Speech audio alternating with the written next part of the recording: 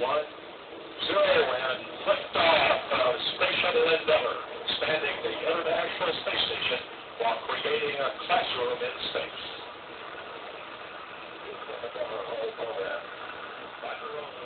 Houston now controlling the flight of Endeavour. The space shuttle begins its journey back into orbit.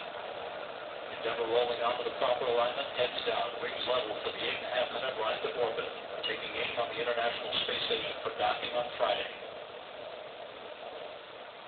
30 seconds into the flight, the three liquid fuel main engines will soon throttle back to 72% of rated performance in the bucket to reduce the stress on the shuttle as it breaks through the sound barrier. This view from long-range trackers, now from a camera on the external fuel tank showing the bird's eye view of Endeavour heading towards space. 54 seconds into the flight, Endeavour already 8 miles downrange, standing by for the throttle up call from Capcom Chris Ferguson. Endeavour, go with throttle up.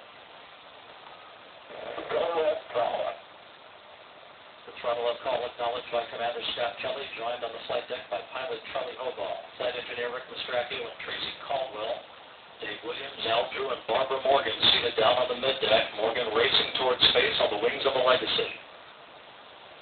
One minute, 30 seconds into the flight, Endeavour currently traveling almost 2,000 miles an hour, 14 miles in altitude, 15 miles downrange from the Kennedy Space Center. Three good fuel cells, three good auxiliary power units, three good main engines.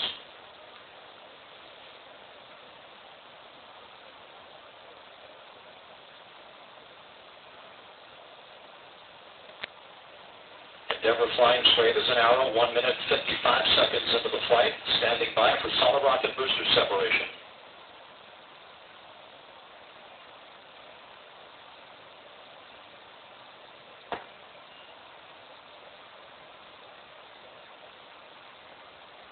Booster officer confirms staging of good solid rocket booster separation, guidance now converging. Endeavor's onboard computers commanding the main engine nozzles to gently swivel, aiming Endeavor for a precise keyhole in space for main engine cutoff. 2 minutes 25 seconds into the flight.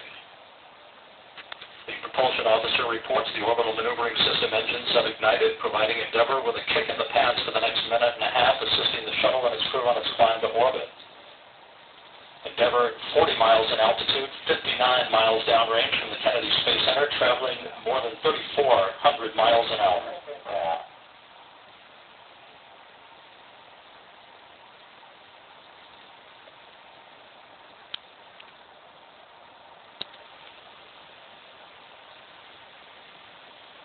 Three minutes into the flight, Endeavour 75 miles downrange, traveling almost 4,000 miles an hour, 47 miles in altitude.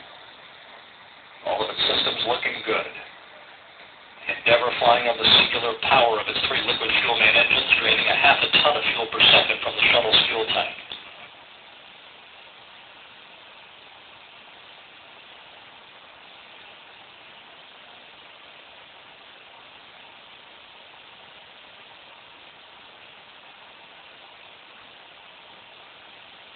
We're coming up on the point of negative return where the shuttle will be too far downrange, too high in altitude to return to the launch site in the event of an engine failure.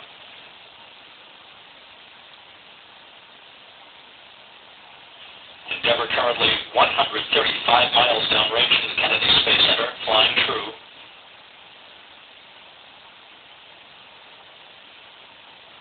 Endeavour, negative return. Passing four minutes into the flight, Endeavour more than 60 miles in altitude, 160 miles downrange from the Kennedy Space Center, traveling 5,000 miles an hour. All systems looking very good.